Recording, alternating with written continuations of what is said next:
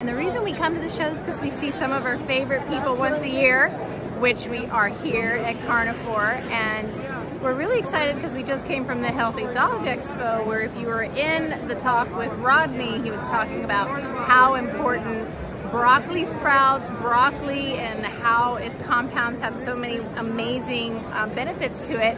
And then look what we have right here. Oh, this is people stuff?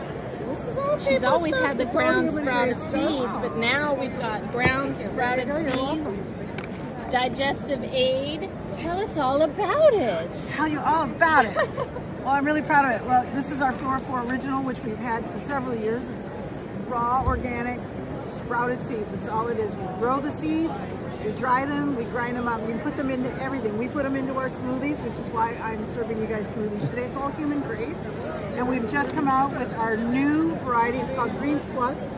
This one's got broccoli seed, chia seed. It's five different sprouts. So you can combine them. You can alternate them.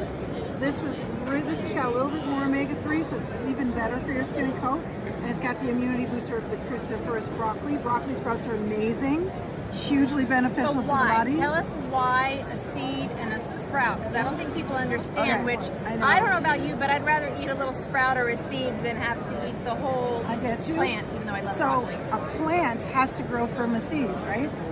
All the information needed to grow that plant from a seed Tell them. is in the seed.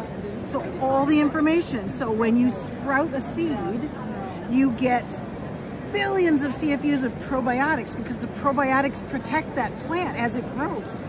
We get a huge thousand times more vitamins, minerals, all, in, all enclosed in that native seed, right? So all the genetic information is there. What's not there is a whole lot of protein.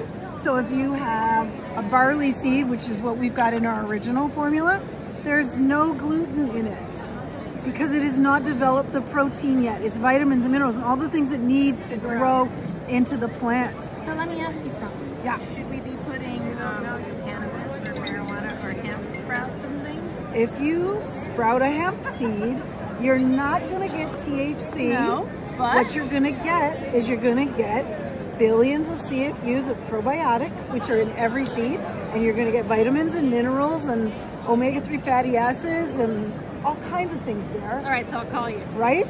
Sure. That's what Thank you you, need, honey. though. Yeah. Maria Ringo,